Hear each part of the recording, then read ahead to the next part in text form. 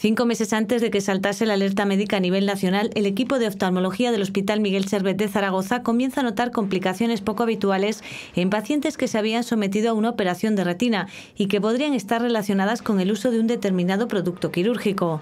Estuvimos dos o tres casos en los que la reacción era quizá diferente a la normal y eso nos hizo ver qué tenían en común y llegamos a la sospecha inicial que podría estar relacionado con el uso concreto de esta sustancia. Hicimos el, aviso sanitario que se hace cuando vemos que el índice de complicaciones con el uso de un determinado producto excede la frecuencia normal de complicaciones que tiene una determinada cirugía. Y cesamos la utilización de, esta marca y pasamos a, a utilizar otra y desde entonces probablemente no ha habido más problemas.